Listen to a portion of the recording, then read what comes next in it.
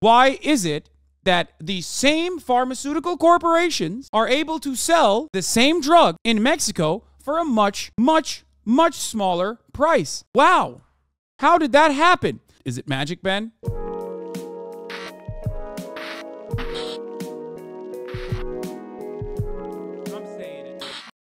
saw in politics there is no such thing as a free lunch. Well, apparently there are a lot of people out there who believe there is such a thing as free medicine. And the way that they are basically making the case. Yeah, it's crazy. All these other countries where uh, the medication is like medication, pharmaceutical prices are controlled by the government because they're engaging in like mass purchases because they have a socialized structure for healthcare. In all of these nations, it's just they they're operating with, uh, I guess, pure magic is that big pharma in the United States makes a lot of money. Now, there are a lot of problems with big pharma for sure. There are drugs that are really not great for people that are marketed as though they are amazing for people. The most obvious example being Oxycontin. But it is also true that every single drug you take was developed by big pharma. Every single medicine you take was developed. That's not true. That's not even remotely true. Every single drug you take was developed by scientists working in publicly funded research facilities in colleges and universities not a single aspect of this is is is like the idea that it's only capitalists that are uh, you know and and uh, people who are uh, operating under the profit motive uh, that are making these new drugs is silly. It's ahistoric. There are plenty of incredible examples of people uh, developing uh, patents and then selling it off for one dollar, like insulin, uh, antibiotics. It's just complete nonsensical capitalist hokum to lie like this, okay? They're lying to you, hoping that you don't second guess it. Ben has uh, been doing this in perpetuity. Every single right wing and even a lot of liberals engage in this lie. It's bullshit, okay?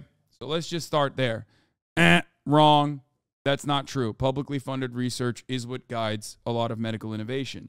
The actual funding, R&D costs, inside of pharmaceutical companies, the broad majority of those uh, costs are not actually on new novel or novel chemical compound development. It's actually just figuring out ways of extending the patents that they hold on to. They use a lot of their money, they use a lot of their funds to capture a patent. And then after they take the patent, uh, they try to find new ways of extending that patent, new delivery mechanisms, slow release mechanisms, things of that nature. Uh, most of that is the is the real cost of R and D. They do not invent the drugs. A pharmaceutical CEO has never invented a fucking drug. They have invented new ways of extending. Even they don't do that themselves, but they fund people that invent new ways of extending patents. That's the goal. Working in research for a university, very little new compounds are funded by pharma. They use the majority of their funds to find new use for the same drug. Exactly. But even then, even then, not only is a lot of the novel chemical compounds funded by publicly funded research, okay, that they that uh, capitalist pharmaceutical companies uh, seize on and purchase, but but having said that, a lot of people will say the United States of America innovator in in uh, uh medicine. Not true. United States of America, in spite of all the public funded and privately funded medical research, is not the number one in uh, novel chemical compound development per capita. Okay, that is not true. Other countries that have higher levels of public funding are significantly more efficient at developing novel chemical compounds. They work with the limited funds that they have. So remember, the goal of a capitalist is not to innovate to better people's lives. The goal of a capitalist is to innovate to find new profit vectors. That's it. It's to constantly find new and innovative ways of creating uh, more shareholder value. That's it. Increasing shareholder value. That is the only job.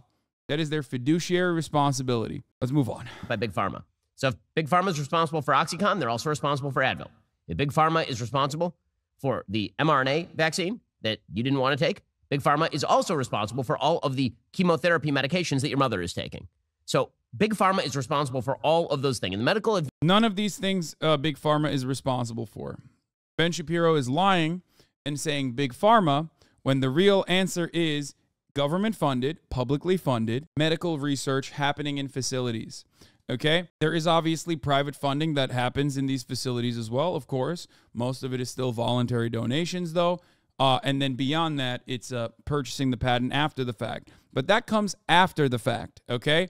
That's after a patent has been developed. Most of this stuff, most of uh, you know the the novel chemical compounds that are uh, being created, that are being found in these research facilities, are still absolutely kept up with public funding. Advances in the United States have led to a tremendous ex- expansion of life expectancy in the United States. That's not true. Cuba's life expectancy is higher than the United States. Cuba has uh, better outcomes, better healthcare outcomes than the United States, in spite of being a tiny fucking island that has been under constant embargo by the United States of America post the Cuban Revolution. Uh, so even on that front, that is completely wrong. Healthcare across the board and life expectancy across the board is an is obviously a much more holistic number. It's very difficult to arrive at it by simply saying we have better medicine and that's why our life expectancy is higher. That is not the case, of course. There is a, there are a multitude of different factors that apply to understanding life expectancy. Uh, walkable cities, access to public transit, cleaner air, better food, less subsidies for corn, for example. Uh, there is no one, your diet, your national diet overall, uh, and how uh, expensive it is to eat healthy. These are all fa- these are all actual factors that that uh, go into uh, figuring out life expectancy. So it's not exactly a great metric uh, uh, if you're going to tackle like one issue. But even on that front, the United States life expectancy is significantly worse than other comparable developing nations or even developed nations, especially developed nations, but even developing nations. So Ben's not even right on that front either. The, the five year cancer survival rate in the United States is much higher than anywhere else on earth. The reason being, we have better medicines than anywhere else on earth. It also also wrong. Like I said, the only thing that Ben Shapiro can do in a healthcare situation is basically cherry pick data. It's not even all types of cancer that he's talking about. There are specific uh, there are specific types of cancers that the U.S. medical innovation is is better at, but that doesn't mean that we have a higher life expectancy. U.S. is seventy seven point twenty eight, Canada eighty one. Um, but uh, ultimately, he's not right. Um, and just because someone is good at like ass cancer, let's say, someone is good at like uh, saving people from dick cancer or ass cancer or brain cancer or whatever the fuck, doesn't mean that our healthcare system is actually better than other nations. It is not. Okay? That doesn't even mean that we have better medicine. For example, Cuba has had a lung cancer vaccine for many years. This is something to consider. This lung cancer vaccine was created on a fucking tiny island and has existed for a long time, as a matter of fact. Americans with lung cancer, due to our uh, political stance against the tiny island nation, the cigar island, um, won't allow people to go and get that. So happens to be that we develop a huge number of medical patents right here in the United States. Well, the reason for that is because the United States, when it comes to drug pricing, is maybe the last country on earth that actively allows patients and doctors to buy drugs at the price that pharma is selling the drugs at, as opposed to using the government. This is a very fun way to describe the situation that is horrific. Ben is right, but he's using, he is uh, very greasy in the way that he's describing it. Remember, I talked about this earlier. The United States is the only nation on earth where big pharmaceutical purchases were illegal until recently. Uh, it, it, they were not susceptible to price negotiations. The government made it so that Medicare and VA and Medicaid could not negotiate drug prices when they're purchasing massive quantities of it. That is not a thing that exists anywhere else on the planet. Okay? It is it was illegal. Now Ben, of course, is a gigantic piece of shit, so he has to reframe it like it's a good thing. Let me explain. If you're familiar with Costco or Sam's Club, right? If you're familiar with wholesale purchases, you already know when you go and buy an entire fucking tub of ice cream, that shit's going to come down to a much cheaper uh, ice cream per gallon for you, the consumer, than actually going to the store and getting a pint of ice cream. Or uh, what is going to be even more expensive than that is go to a uh, ice cream shop and get a scoop of ice cream. Okay, because when you're buying a tub of ice cream, uh, it's it's it's cheaper. Uh, it's cheaper to purchase it in bulk. It's cheaper to consume it in bulk. It's cheaper to sell it in bulk. So you get a deal. Everybody loves a deal. You know who doesn't love a deal?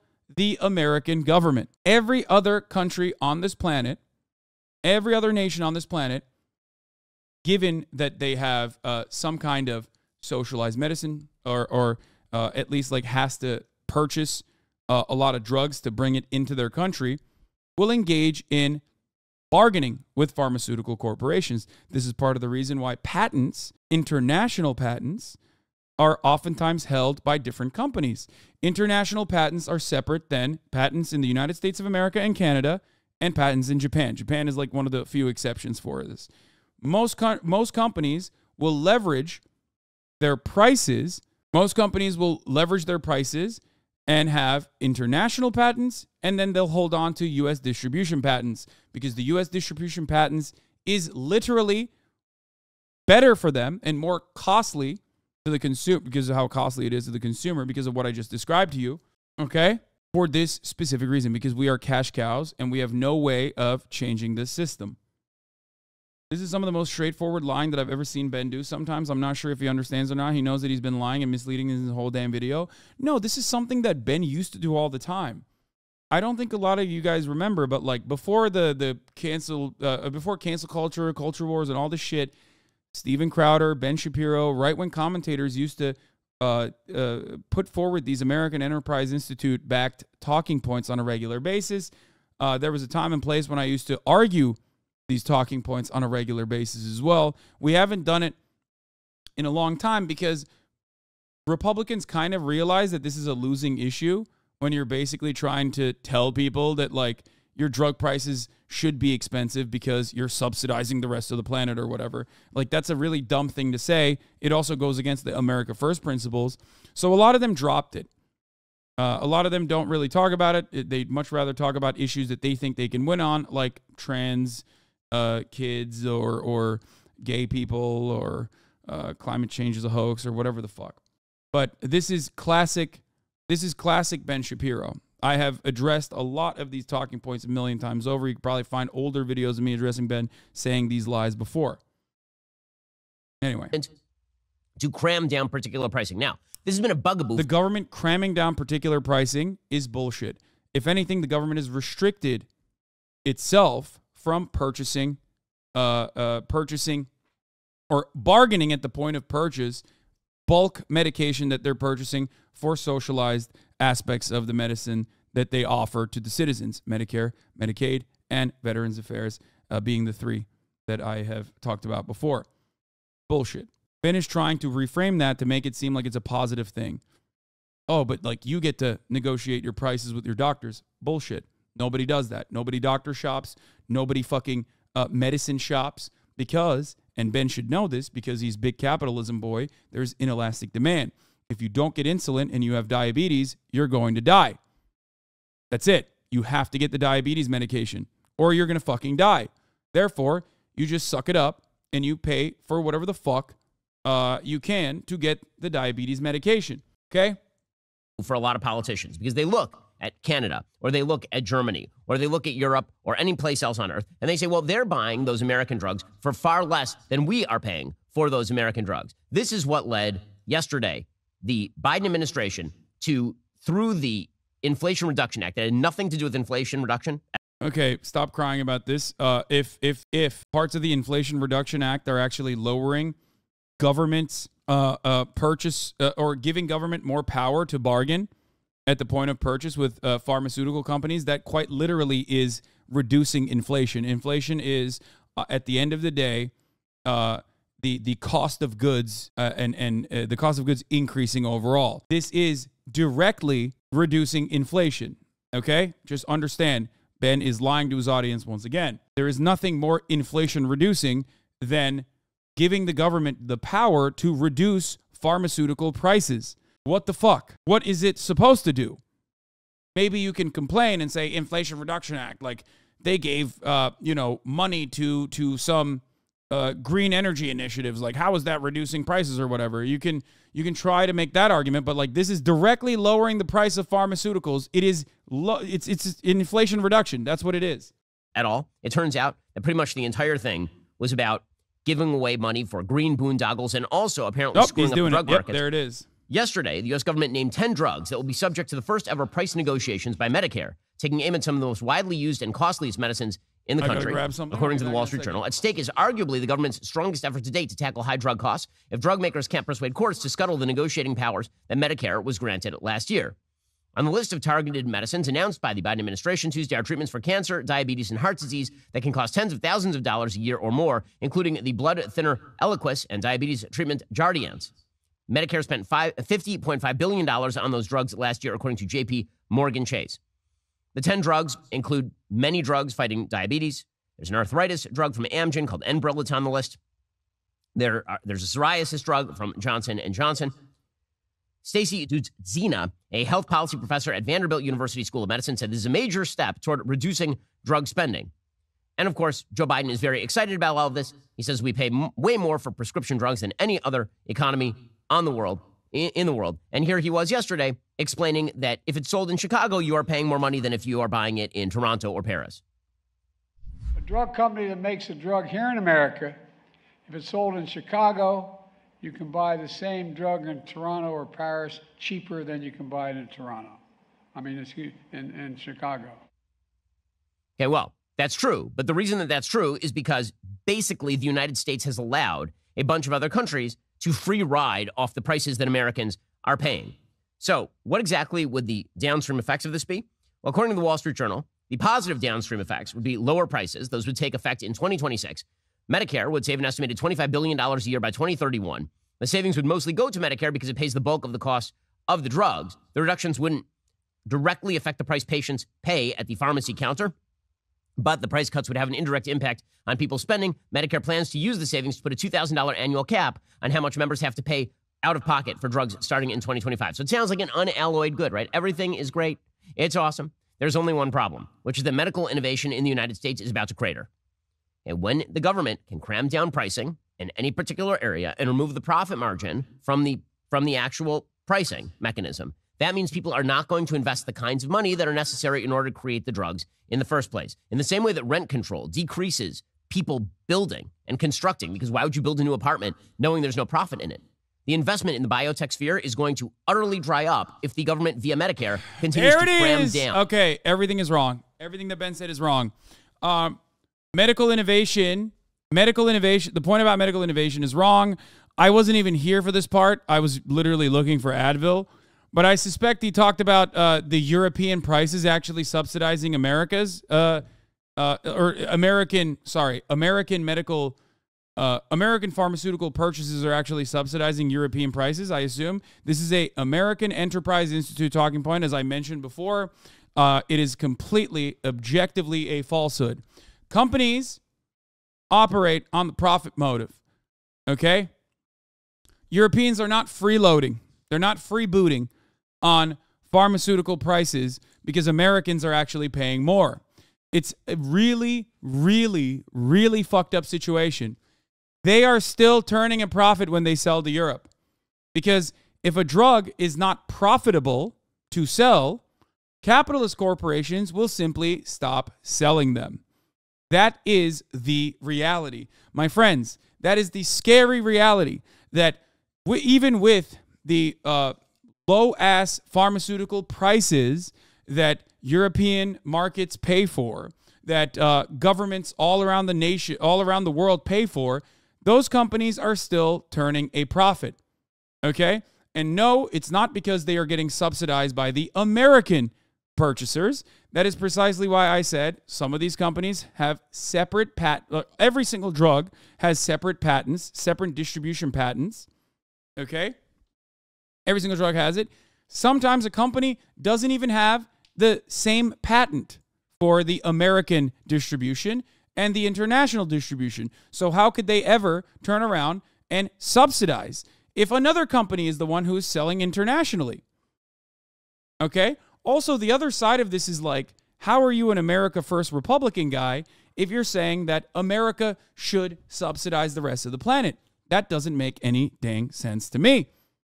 Okay. The second part of this argument is that uh, because Ben has to be a demon, and because he has to be a capitalist uh, charlatan, he has to turn around and try and claim that there is a negative consequence of your grandmother buying drugs cheaper now. Okay, he has to make something up.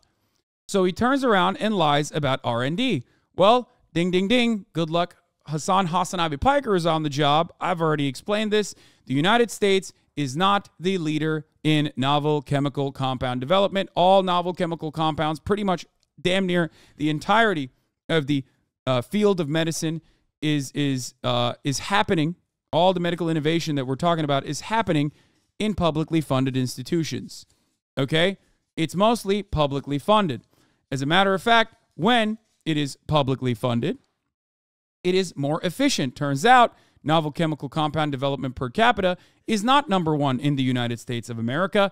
Turns out, novel chemical compound development uh, is is better in other countries, including I think Switzerland. I forget where it is. What? Imagine streaming on Twitch and not doing it for profit, and then use it as an argument for profit while doing an ad break of the hour. Uh, actually, thank you, Chatter. You cooked me a little bit, but I had forgotten to run the top of the hour ad break, so I'm going to run it right now. How do you even measure innovation? Well, I like I told you, novel chemical compound development. Okay? That is how you measure medical innovation. Who is finding a new drug? Who is finding a new chemical compound that is going to be used in a drug? Okay? Novel ways and innovative ways of serving the top of the hour ad break also happen in the chat. Chat is probably better at novel ad break debates, ad break segues per capita than I am. So Good job, chatter. Here's the three minute ad break now. If you no longer want to see that ad, all you need to do is subscribe for $5 or free with a Twitch Prime by connecting your Amazon Prime account to your Twitch account. Uh, you can also get gifted a sub if you're lucky. Use the three minute ad break now. Yes, most medical innovation and biomedical research happens at public universities or private institutes with public grants. Exactly. And not only that, but in other countries where uh, medicine is funded predominantly by the public in a higher percentage, they are apparently more innovative than the United States of America. They are more efficient uh, in the United uh, than the United States of America in generating novel chemical compounds. So that's one. That's number one. Just remember, it's completely made up. Ben is lying to you. He is lying through his teeth. Completely lying. Which is that medical innovation in the United States is about to crater. And when the government can cram down pricing in any particular area and remove the profit margin from the from the actual pricing mechanism, that means people are not going to invest the kinds of money that are necessary in order to bullshit. As I already said, bullshit. It's publicly funded research. Create the drugs in the first place. In the same way that rent control decreases people building and constructing, because why would you build a new apartment knowing there's no profit in it? The investment in the biotech sphere is going to utterly dry up if the government. Once again, absolutely bullshit. I'll give you an example. Places where there are far more restrictions on pricing of new housing units actually yield better outcomes and have been able to combat homelessness significantly better than the United States of America. The reality is that the for profit housing sector is precisely the reason why we have so many homeless people everywhere. Uh, I will give another European example once again because Europe is both gay and socialist and also uh, La La Land, where magic happens. Simply, we cannot do this in the United States of America. But Vienna comes to mind. Uh, the the uh, capital of, of Austria has a, has has been incredibly innovative in this wonderful uh, new thing that isn't so new called public housing. 65% of the homes in Vienna are publicly owned. They are public housing, uh, and they have uh, they're they're perfectly adequate. They're great, uh, and you know people love that shit. They are incredibly affordable, and therefore they have significantly less homelessness. Anyway, so there it is. The idea that government intervention is actually bad or government regulation is actually bad is a silly one. Via Medicare continues to cram down policies like this one. By the way, the policy itself is absolutely wild. I mean, the way that they are cramming this thing down is that they go to the companies, that the Medicare goes to the companies that produce the drugs, and then they tell them that they are now going to be subjected to this sort of arbitrary choice where they where they pick your drug out of the lineup and they say from now on we are going to cram down a price on you The- this is such a funny fucking video. There is 0% chance that even the dumbest of hogs, okay, are going to watch this video and go, I agree with Ben Shapiro. You have to be the sweatiest neoliberal nerd on the fucking planet. You have to be the sweatiest Austrian economist on the planet, uh, the sweatiest ANCAP libertarian, whatever the fuck, on the planet to watch a video like this and go, Ben is so right. Most hogs, I do not believe, agree with Ben Shapiro. America rocks 1776. Any drug that is developed with a significant portion of taxpayer money should not allowed to be patented. Read the comments. Have you ever seen a YouTuber have such uh, uh, uh, such clarity in its comment section? This motherfucker's name is America Rock 1776. Go ahead. He gets it. Only the sweatiest fucking losers on r slash neoliberal will look at a video like this and go, actually, this is uh, Ben is completely uh, correct here. He is doing the right thing. He's doing uh, God's bidding here. I get that R&D is done by American companies, but still, there was no explanation why the same medicines cost less in Mexico, Canada, and other countries. That is the part that doesn't add up. And a wizard did it is how it sounds, in fact, that everyone seems to avoid explaining this in a clear manner and jump to something else. Brilliant. That's fucking awesome. He's right. Why is it that the same pharmaceutical corporations are able to sell the same drug in Mexico for a much, much, much smaller price? Wow. How did that happen? Do you think that these big pharmaceutical CEOs are actually quite magnanimous? That they've decided, I do care about Mexicans more than I care about Americans, as a matter of fact. I love Mexico. I love Brazil.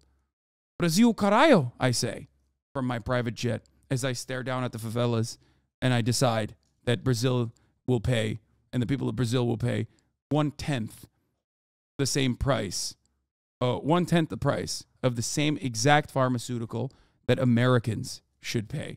Okay? How does that work?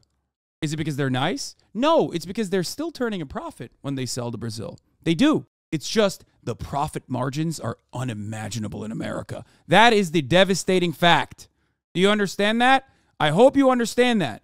That is the devastating fact is that in the United States of America, they are just able to get away with price gouging you. Because all matter of price increases on an inelastic good with inelastic demand is price gouging. Okay? That's it. And we do this in the field of real estate as well. We do this for housing as well. So it's kind of funny that Ben brought this up because I believe that housing is also an inelastic demand good. Let's continue. The CMS can only select drugs that have been on the market for a certain period of time. For instance, a small molecule drug, a product in pill form like aspirin, must have been on the market for nine years or more to be negotiation eligible. A biologic drug a vaccine or a gene therapy must have been marketed for 13 years or more for eligibility. There are a couple of exemptions that drug makers can use. They can say that they're small biotechs and they manufacture like one drug, or biologic drugs that have a high likelihood of getting biosimilar competition within a couple of years on the list. There's no reason to cram down the price. There's going to be somebody who's. He's saying that generics will come out and they will actually adjust pricing, except generics do come out. Just wait 13 years. Oh, just kidding. We dumped a fuck ton of funds into R&D at Pfizer and decided the patent has been extended for another 9 years. Just wait. Come on. Come on. Just wait another 9 years. Oh, at the end of that patent, they figured out another way of uh, another delivery mechanism. So just wait another 9 years for the generics to come out. Why are we waiting for the free market to do its bidding when the free market is very clearly not allowing you to get these drugs cheaply. Oh, you can't wait another nine years because you're fucking dead. You're dead. He's talking about copycat drugs, not generics. What? What do you think a generic drug is? Wait, am I am I confused here? Generics are copycat drugs. They still get patents, but so similar function. Generics are the same chemical compounds being used in the original brand drug. It's just that uh, the patent has been released so you can actually finally make copycat drugs. I'm I'm so I might be wrong. Maybe I'm I'm like maybe there's like a semantics uh, issue here. Chatter is correct. The example Ben is using is slightly different. What's the difference? Develops a generic, but a similar compound, small biotechs, and they manufacture. Just keep quiet and listen if you don't know what you're talking about. Are you telling me that? Or are you telling that chatter that? Manufacture like one drug or biologic drugs that have a high likelihood of getting biosimilar competition within a couple of years on the list. There's no reason to cram down the price. There's going to be somebody who develops a generic. But the, this is the start of the negotiation process. Basically, they are notified by Medicare that they are now subject to a price cram down. And they have to decide then whether to enter into talks. If they choose not to, they would then face an excise tax scaling up to 95%. 95%. So they, they would still be able to sell their drug to Medicare, but Medicare would then claw back via the power of the federal government 95%. 95% of any income. Hell yeah. Fuck yeah. They should. That is if they don't agree to the terms and conditions that put, were put forward. Yeah, they should.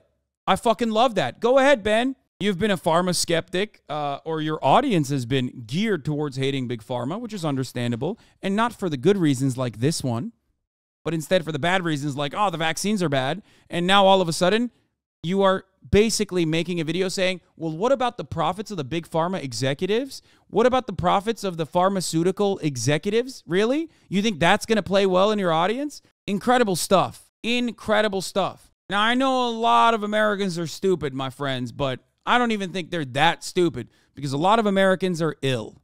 A lot of Americans are sick. A lot of Americans, due to that illness, rely on medication. So they know what that looks like.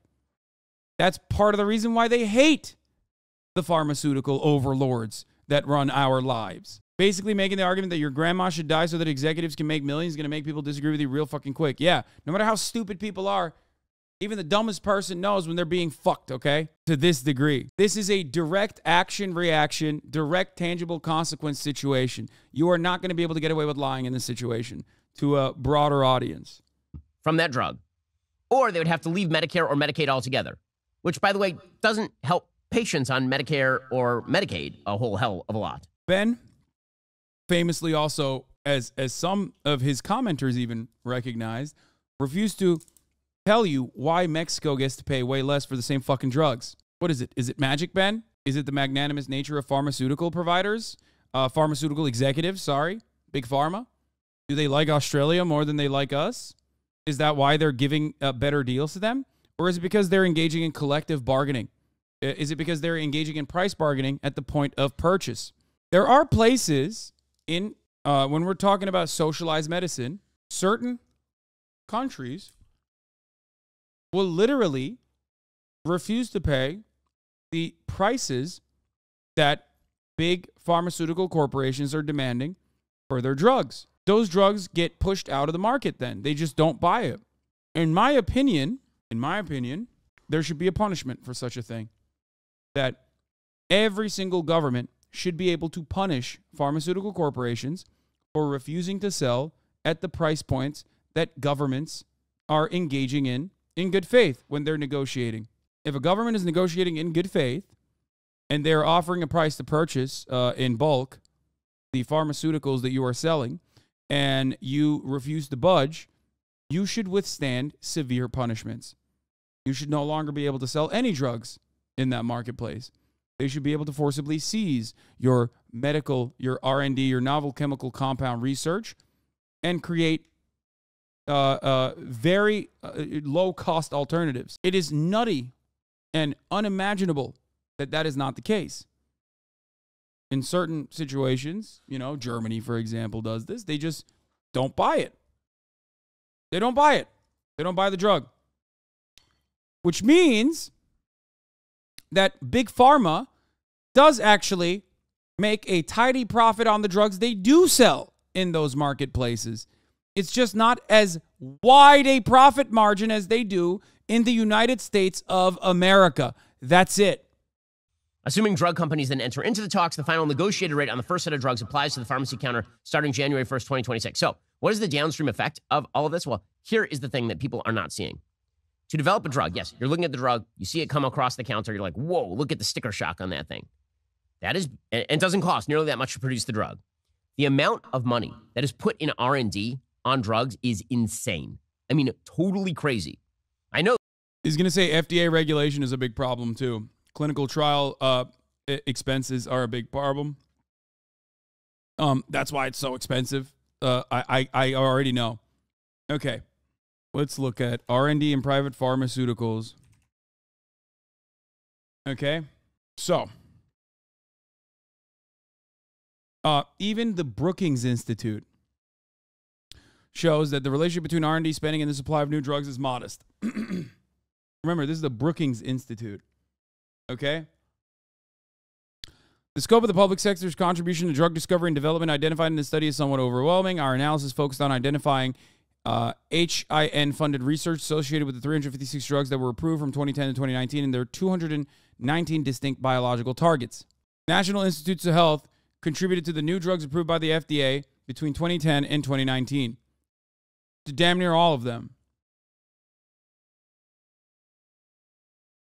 So, one trick that uh, capitalists play, pharmaceutical uh, pharmaceutical corporations play, is R and D, where they say R and D, R and D, R and D. It's spending we're spending so much money on R and D, research and development for ways to ex- extend patents on the same drug is not research and development for novel chemical compounds.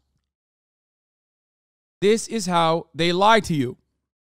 Most of the research and development in the private sector goes into new delivery mechanisms that end up extending the patent that you're holding on to. Okay? Understand that. It's bullshit. When they say R&D is is what is the reason why these drugs are so expensive. It's bullshit. Those drugs have already been invented. And the distribution and the pilling, uh, you know, putting it in a fucking pill form or whatever, all of those costs are relatively low. You're just printing money at that point. Mr. Gonzalez, you're the CEO of AbbVie, which makes the cancer drug Imbruvica. Do you here's, know what the Here's a here's another good example of this. Annual price of Imbruvica was for a patient taking the standard 3 pills per day in 2013. $130,000. Okay, we had 99,766. What about today for those same 3 pills? Uh, I think it's 169,000.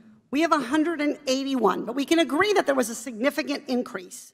Roughly, in a matter of eight years, AbbVie more than doubled the price. Now, Mr. Gonzalez, how much money did AbbVie put directly into the research and development costs of Imbruvica before it hit the market in 2013? We acquired Imbruvica when it, uh, when it was launched, so it would have been the uh, the company that we acquired. Which so acquired AbbVie, reclaiming my time. So AbbVie itself didn't spend any money to create Imbruvica. It was invented by a smaller company, Pharmacyclics, which you later acquired. Correct? We paid $21 billion for the company, correct? It was expensive to acquire them. So you paid fair market value for Pharmacyclics, but AbbVie then doubled the price, presumably justified by its $2.45 billion investment so, did that investment make the drug new or better? Did it make it work more efficiently? Did it cure anybody? Or did they simply raise the price of the drug because they could because if you don't have the drug you die? In R&D. Are there fewer side effects for patients now than there were in 2013? Well, we developed significant indications and expansions and other disease states. Are there fewer side effects, sir?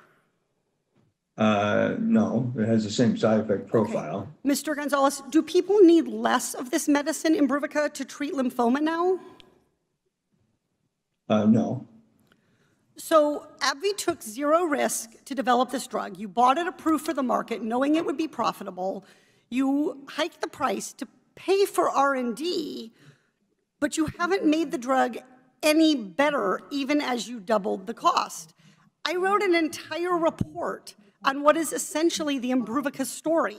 Big Pharma gobbles up a small innovative company, does nothing to improve the drug, but jacks up the price. Now, you told us that you spent 2.54 billion dollars for R&D for Imbruvica, even though the drug didn't get any better. Wait a minute. Wait a minute.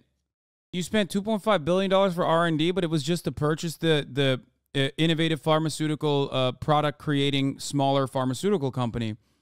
So where is the R&D there? I'm so confused. This is why Ben Shapiro is a fucking liar. Okay? Better.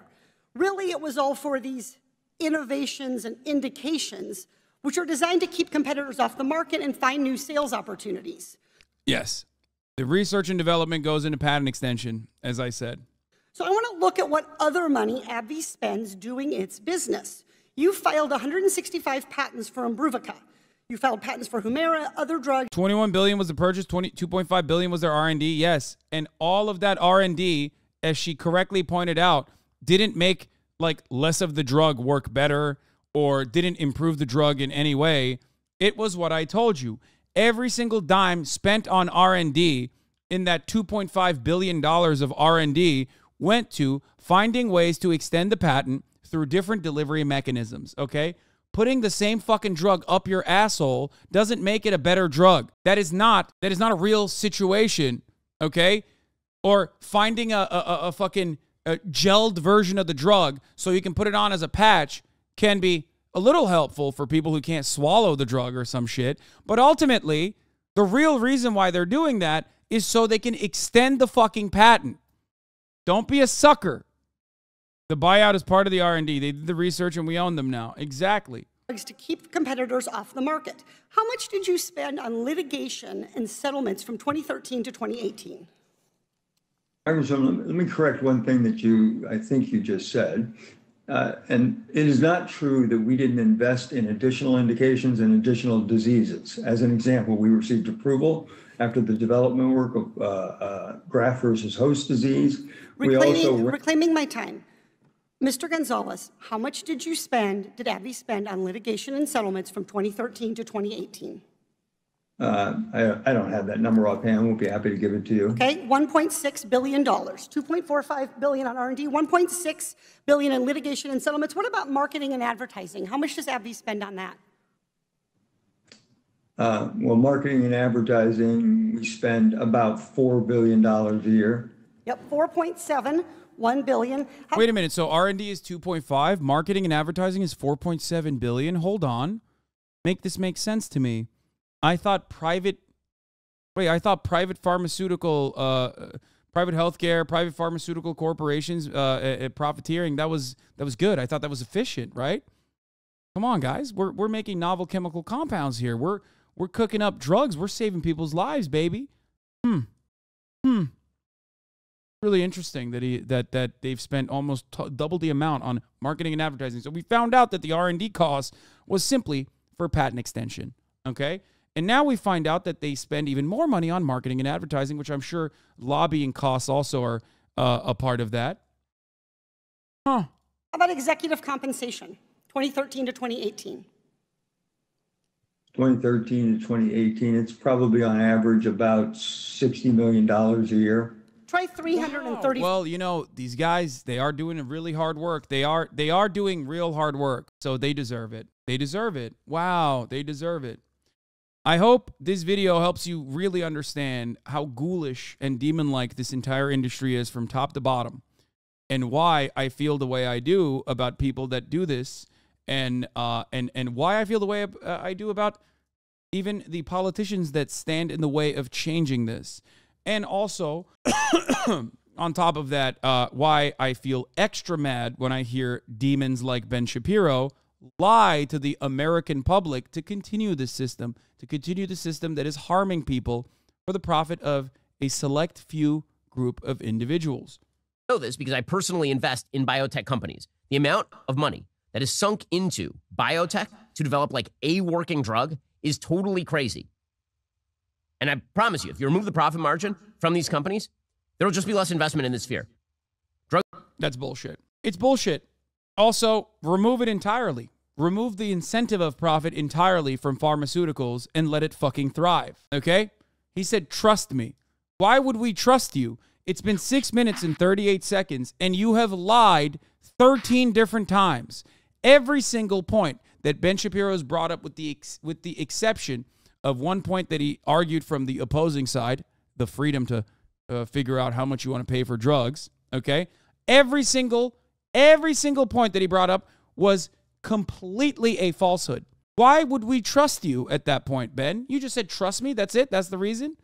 Drugs that would have been produced just will not be produced. I'll get to more on this in just one second. First, I want to talk to you about Daily Wire's most trusted privacy partner. Oh, that's great, man. Thanks. Yeah. In between his his uh you know American Enterprise Institute back talking points, he has to hit you with a fucking top of the hour ad break segue. Very nice. Uh, fuck you, Ben. Okay. At the top of the hour, there is a three minute ad break though. And if you no longer want to see those ads, all you need to do is subscribe.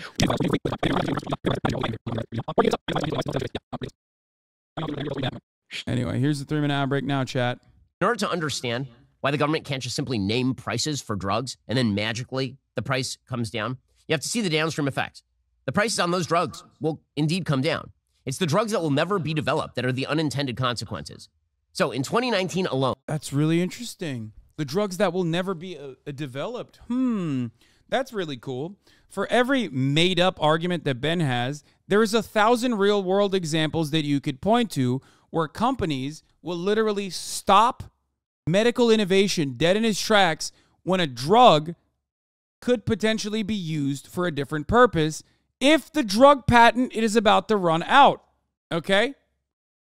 Psychedelic Gazelle, thank you for the 10 gifted subs. Kid Nation producer, thank you for the five gifted subs. This funny ass name. I love that. He's like, what about all the drugs that won't exist because big pharmaceutical CEOs that aren't spending the resources in uh, finding novel chemical compounds? You know what I mean? What about what about these fake drugs that might exist in the future? Ben, remember, has made zero arguments as to why why pro, uh, profit-centered pharmaceutical uh, uh, manufacturers are better at innovation because there is no evidence for this. It is the exact opposite of this reality. Okay? There is no drug that has not touched publicly funded institutional research. There is no novel chemical compound without public funding in facilities where these novel chemical compounds are being founded. And the United States, like I said already, is not the leading innovator in the field. Okay? Your tax dollars and grants are funding this innovation. All it takes is for one of these companies to then come in once the chemical compound has been innovated to purchase it, purchase the patent.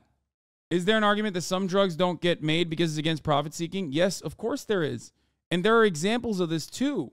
Every single pharmaceutical company, because they operate on the profit motive, will stop any kind of alternative cures, like any kind of alternative cure research, if the pharmaceutical, if the if the patent is about to expire.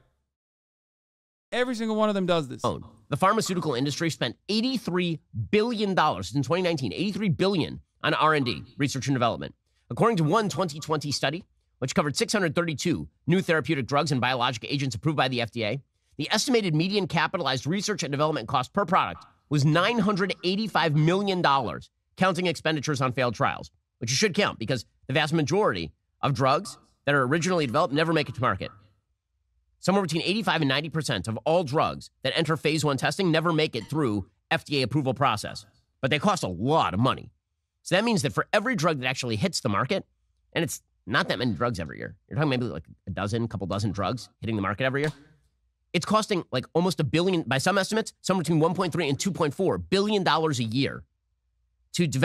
Wow. Seems like a lot of money has to be spent to make this happen. If only, if only, I don't know, the, the profit motive was entirely removed from this process. develop each one of the well, two, 1.3 and 2.4 billion dollars to develop each one of those drugs. That's how much money these companies have to spend upfront to even develop a working drug. So how do they make that money back? What makes it profitable? Why would they spend 1.3, 2.4 billion dollars on creating a drug or risk hundreds of millions of dollars on drugs that I don't know. If you're not a fucking demon, I have an idea.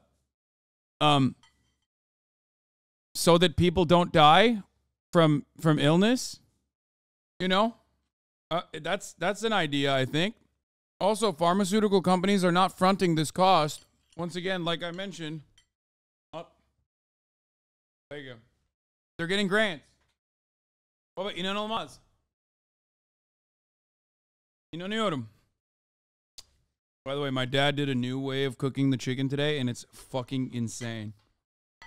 And uh, here's some uh, fried, well, not fried, but uh, don't know what he did. I think he air fried some some onions and peppers too. It's so crazy. He put that shit on, man. aren't ever going to make it out of phase three? Well, the reason is because on the other end, there has to be some sort of way to earn back that money. Now, Americans do bear the brunt of the cost because other countries are free riding. The U.S. government spends 243 billion dollars a year on uh, pharmaceutical research versus the 83 million uh, billion from the private sector, is what that chatter said before they got clapped. The U.S. government spends 245.1 billion in 2020 on medical research versus the 83 billion from private. Luxturna gene therapy for blindness to cost 850 thousand dollars. Guys, there's nothing we can do. It just has to be this price point, you know. It is what it is. If other countries have a free ride, why do these companies even sell the drugs there? If it was at a loss, wouldn't they sell to that market at all? Ding, ding, ding. That is precisely the answer. That's why Ben is lying, like I said. But he can't admit that because when you admit that, you fucking realize how devastating shit actually is. That these major pharmaceutical corporations are already turning a profit in other marketplaces, but they just can get away with turning a much larger profit in the United States of America. They make money in Europe. They still make money when they sell it for a dollar, but in America, they get away with selling it for $10. If Ben were to say, oh, they're doing charity in Europe, he would look like a fucking idiot. But that's basically what he's saying without actually saying it. Do you understand? And it's bullshit. It's not real. We also captured the industry upside. It used to be in the 1970s that a huge percentage of drugs are actually developed in Europe. Today, a huge percentage of drugs are developed in the United States. According to one 2010 study, That's so funny. Again, he's doing okay. Remember, God, I've already, dude. In a lot of people were saying, Hasan, why did you pause so much in the beginning? Because I already addressed all of these points. Like I, I addressed every single point because I knew exactly what he was going to say. So I addressed basically every single point ahead of time. Okay. The percentage of novel chemical compounds is a total totality argument. A percentage of novel chemical compounds being created in the United States is meaningless if you are talking about efficiency. Which country is generating more novel chemical compounds with less money? Because Ben is talking about efficiency here. He's saying that more public funding is actually bad, or rather, more private funding is actually good. And these guys have to dump a lot of private funds, which isn't even the case. And that the profit motive is the reason why people are making these uh, medical innovations. It's not true. So, what he's going to do now is tell you that a higher percentage of the novel chemical compounds are founded in the United States. That part is true. Of course, is true. There are more institutions, more facilities, more money, more people in the United States of America. Okay? That's why you have to adjust it to per capita. The United States accounted for 42% of prescription drug spending and 40% of total GDP among innovator countries, and was responsible for 43.7% of what are called NMEs, new molecular entities. According to the BLS, the Bureau of Labor Statistics, the pharmaceutical and medicine manufacturing industry is responsible for about 332,000 jobs in the United States. In other words, it's a big business. And it's a big business because He immediately moved away. He just dropped that in there as though that's relevant in the argument. Brother, brother, that is such a fucking stupid argument to make. If your goal is to talk about, if your goal is to talk about how efficient America is at, at uh, cultivating novel chemical compounds, you can't turn around and say America is responsible for a lot of medical innovation. 43% of all medical innovation, novel chemical compounds, are happening in the United States of America.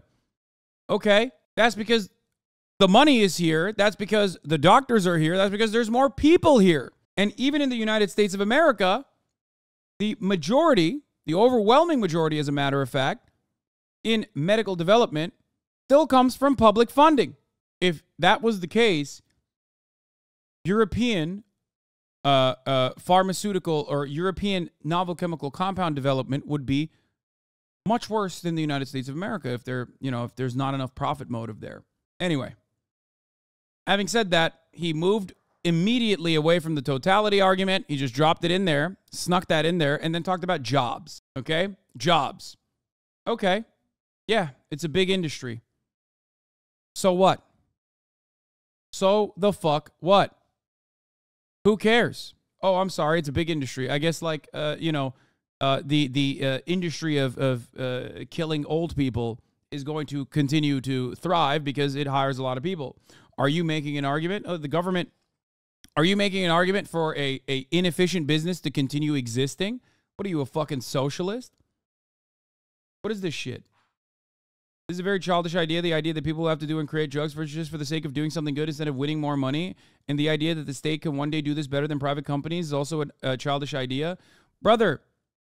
It's only a childish idea if you're a fucking idiot because what you just described as a childish idea is objective fact. That is what I'm describing to you. You're so fucking baby brained that you don't even understand that that is literally what is the reality, and this guy is lying to you. Okay?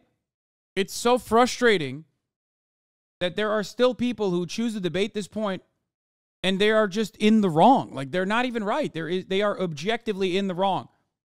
And I have given you multiple points of data at this point how much money uh, the United States public funding uh, goes into uh, novel chemical compound research, uh, uh, development, and what kind of R and D uh, funds are are actually t- just wasted on patent extension mechanisms. But Hasan, you don't get a fam. You're the one saying it, so now it's just not true. Actually, yeah.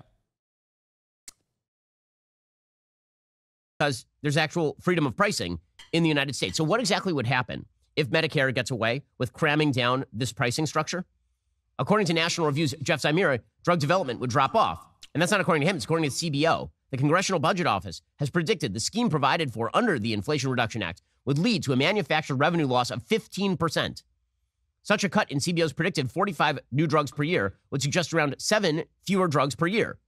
That means 121 drugs lost over an 18 year time horizon, as one report estimated. So, which drugs would be most likely to disappear? The drugs most likely to disappear would actually be the ones that are for rare conditions, right? The ones that have less of a profit margin to begin with.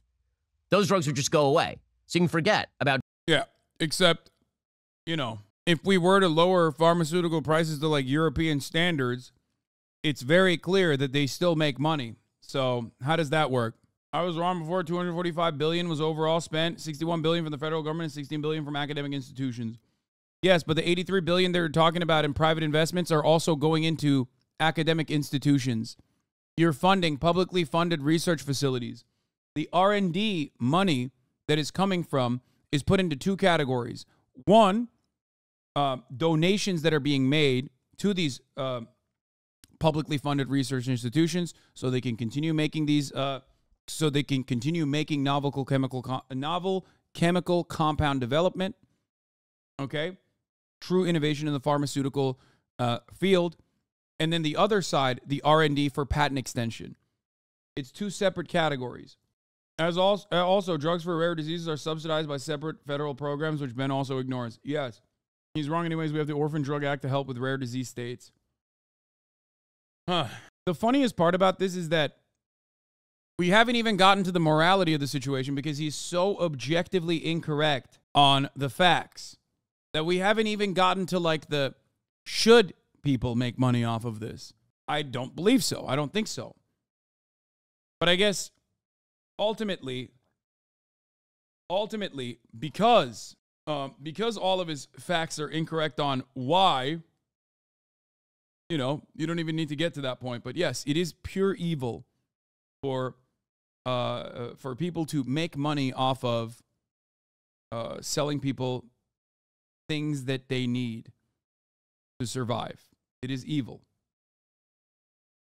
It's just wrong, it's immoral, and turns out quite inefficient as well.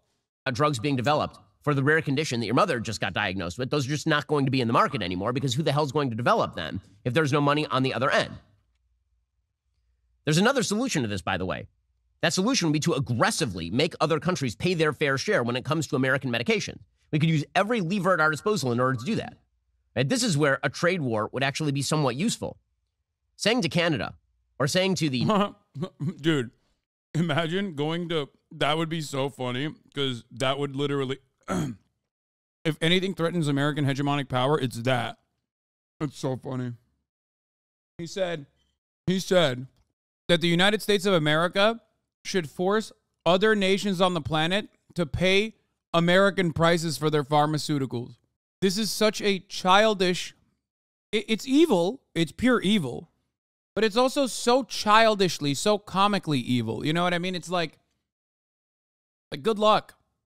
Lazan, if I paid for higher premiums, so should other people. Ben is 100% correct. Fuck the government. I want it privatized. According to a 2021 study by the RAND Corporation, nonprofit global policy think tank, prices of prescription drugs in the U.S. are 2.4 times higher than the average prices of nine other nations. That higher cost is largely related to brand name drugs, which are 4.9 times more expensive in the U.S. than in those other countries. In fact, brand name drugs are responsible for 84% of total drugs in the United States, despite accounting for only 8% of drugs dispensed. This also is a relatively favorable study that makes uh, pharmaceutical corporations look good or better. Hey, Hasanabi, I'm a research chemist at a university that does research to develop therapeutics for cancer. You said the entire industry is corrupt and evil to the bottom. I'm not sure how the development, innovation, research side of things is evil. I do understand that it's incredibly fucked up that most pharma companies' practices are in their business side, but I don't really see what's wrong with my work. Um, chatter, I really hope your brain doesn't work this poorly when you're unironically doing your fucking uh, research because never did I ever in any capacity say that you know universities that are developing new therapeutics for cancer are the bad guys here. What the fuck are you saying? I'm specifically talking about research and development in the private sector that doesn't directly go into offering donations to these in, uh, research institutes are going to extending patents. All matter of R&D once a novel chemical compound is found, once a delivery mechanism is adopted, once a patent is delivered, once the company purchases that patent, okay? Or purchases the other, you know, smaller company that uh, uh, uh played a role in creating that patent, they are using all matter of funds on the R&D side on patent extension mechanisms like different delivery mechanisms, different, different delivery systems. They're not structurally modifying the chemical in any capacity. All they're trying to do is ensure that uh, uh, copycat drugs are not available. That's it. Of course, I'm not talking about fucking research chemists at the university. What is happening? And then an even larger chunk of it is going into marketing anyway. Pharmaceutical companies also allocate retained earnings and other financial resources to R&D and shareholder payouts. Companies depend on profits to sustain biopharmaceutical investments. This declaration creates the impression that profits finance R&D.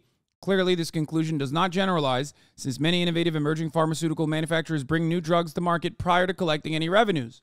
Recent analyses of industry balance sheets also reveal a more complicated picture.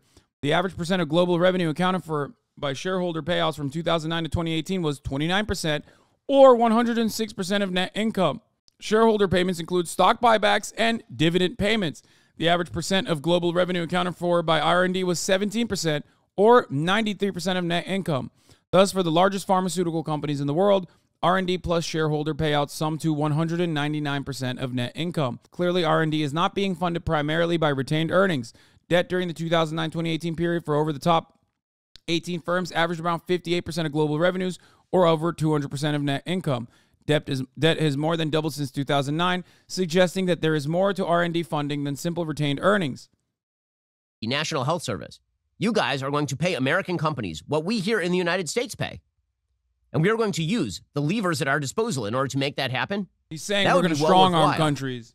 Because right now, basically, America is subsidizing the rest of the world when it comes to drug creation. But the solution to that isn't for American government to then cram down a pricing mechanism on the big this isn't true. Guys, I just want to point something out. Two things. Higher David. Right. If that was the case, then pharmaceutical corporations would sim- would first of all, if that was the case, then they would not be making profit in like the European market, right? But then a patent distribute patent for distribution of a certain brand drug would have to be maintained by the same company internationally so that they could leverage so that they could leverage the low prices against the high prices in the United States. However, distribution patents are separate, oftentimes owned by separate pharmaceutical corporations. Distribution patents for the United States and Canada are separate than distribution patents for the rest of the international market, with some exceptions in Japan.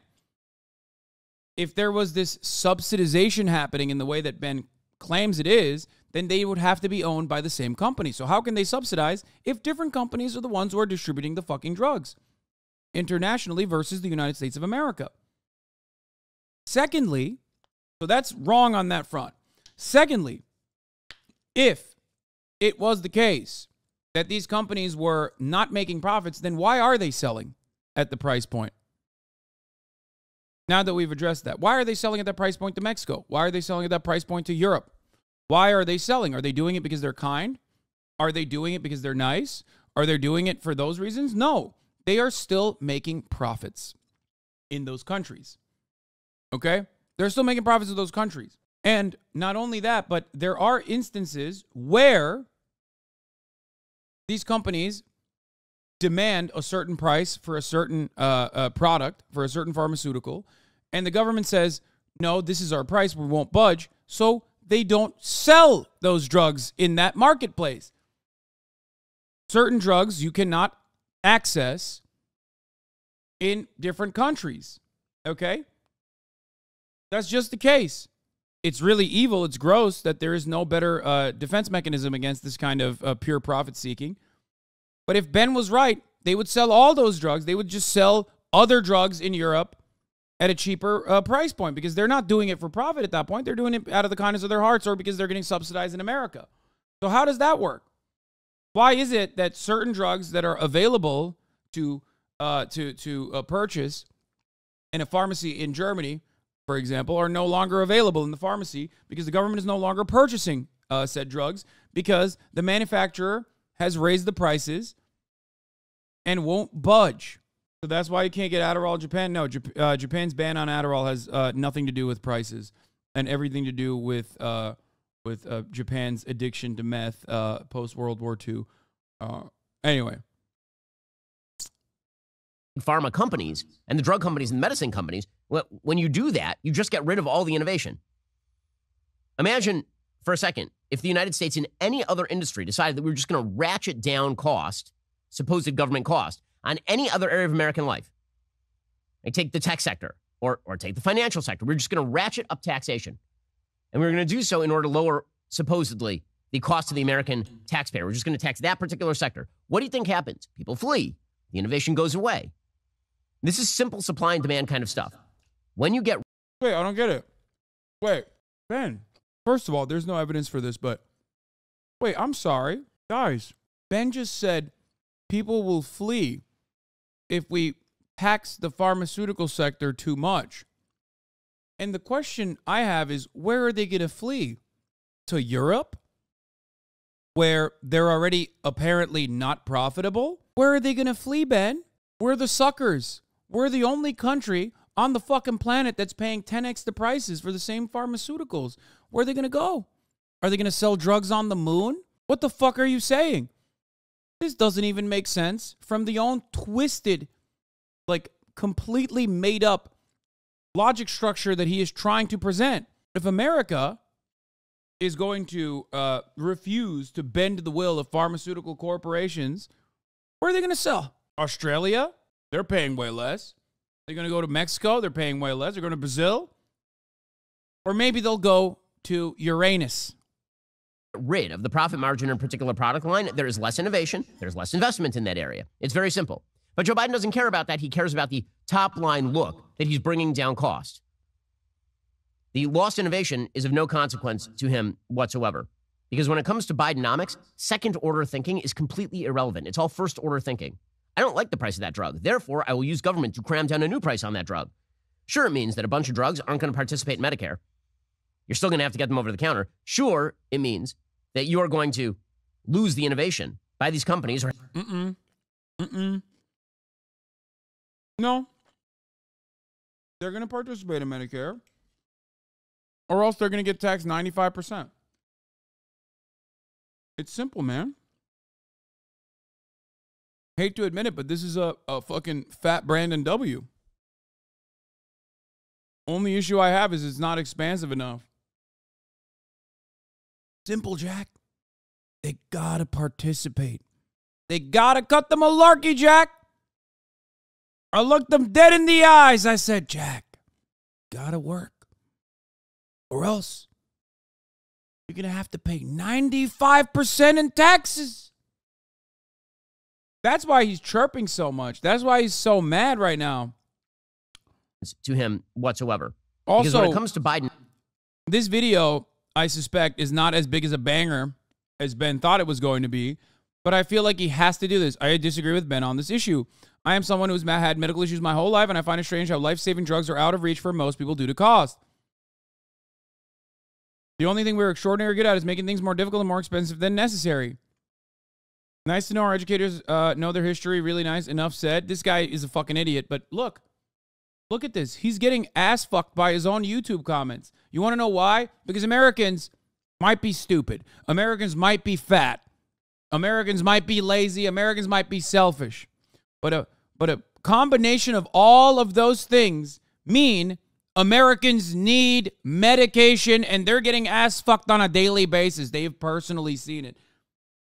Not every conservative knows a trans person, but every conservative has a family member or themselves that is in desperate need of some kind of reform in pharmaceutical pricing. Okay? That's right. We are a nation of diabetics. Good luck trying to tell your own audience or any audience in the United States of America that you keep having to pay 10x the prices for the same fucking drugs that you can get in Mexico much cheaper. economics, second order thinking is completely irrelevant. It's all first order thinking. I don't like the price of that drug. Therefore, I will use government to cram down a new price on that drug. Sure, it means that a bunch of drugs aren't going to participate in Medicare. You're still going to have to get them over the counter. Sure, it means that you are going to lose the innovation by these companies or have them base themselves somewhere else. But at least you'll feel good about having supposedly brought down the cost. By the way, like Democrats care about the cost of Medicare. Since when have Democrats cared about the cost of Medicare? They won't even restructure Medicare, Medicaid, Social Security, which represents 66% of the American mandatory budget every year. Anytime anybody mentions maybe we should restructure those programs in order to lower the costs, they're like, no, no, no, we can't touch it. Apparently, the only way to touch it is to confiscate money and innovation from the private sector. Yeah. Yeah. Yeah. For far too long, they've gotten away with this shit. Yeah, confiscate it. You fucking bitch. It's called taxes. How about these fucking pharmaceutical CEOs start paying their fair share? Fucking piece of shit. Dumb donkey. Imagine making a 46 minute video talking about how CEOs, pharmaceutical companies, shouldn't be paying their fucking fair share and could con- and should be able to freely shellac the American population so that their shareholders can make a tidy profit at the end of the, every quarter. Get the fuck out of here, dude. No way. For the first time, the federal government is prepared to negotiate with pharmaceutical companies over the price of some very popular. This is what we were talking about earlier. Uh, Biden administration has announced 10 drugs targeted for Medicare price negotiation. Let's take a look. their drugs under Medicare. This is part of President Biden's plan to lower prescription drug costs, part of the Inflation Reduction Act passed by Congress last year. Weijia Jiang joins us now from the White House with more on this. Weijia, good morning. Good morning, Tony. Good morning to everybody. You're right. This fall, the agency that runs Medicare will start haggling to get a better price for 10 widely used medications. But critics, including lobbying groups and Republicans, are fighting the negotiations. There are at least eight lawsuits aiming to block them. Catherine Bristol's diabetes medication costs up to $200 a month. She says sometimes that means she can't afford to buy groceries. I shouldn't have to choose between my medicine to keep me not going blind, not eating, or dipping into my rent. Bristol takes Januvia, one of 10 drugs that could be cheaper after negotiations between the government and drug manufacturers. They're used to treat a range of illnesses, including heart failure, blood clots, and arthritis. A new report shows about 9 million seniors in Medicare's prescription drug program used one or more of the drugs last year, paying $3.4 billion out of pocket. We're going to keep standing up to Big Pharma, and we're not going to back down. President Biden announced the plan for price cuts as part of his Inflation Reduction Plan, but the top pharmaceutical trade group, PhRMA, called it short term political gain rather than what is best for patients. Yeah, what's best for patients is like uh, not being able to pay for it because they get to dictate what the what the prices should be. PhRMA has joined the legal battle to block the program. The White House. I'm not even joking when I say Okay, I, I don't want to say it. I don't want to say it. I don't want to say what I want to say, what you should be able to do to these people. Okay? But I'm thinking it.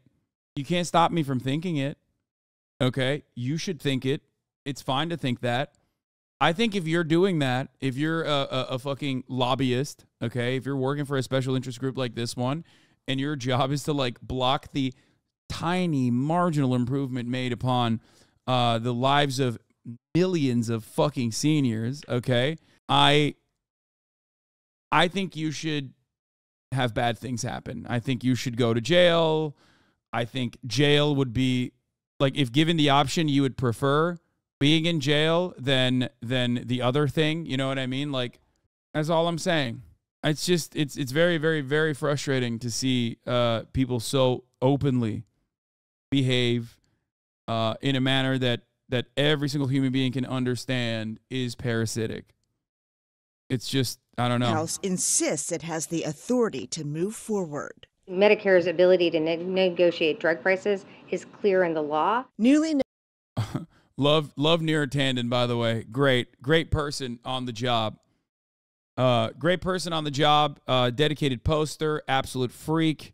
Uh, literally lost out on a position that she uh, wanted to get in the administration because she couldn't get. She quite literally could not get appointed uh, to a to a position in the administration, or was it appointed to a position in the administration due to uh, uh, the the posts that she had engaged in? It's uh, fucking awesome. She's a true poster.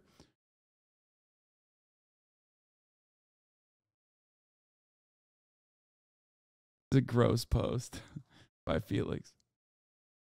Oh. I mean, this is not enough. It's just a good start It's a good start. I can't believe it took this long.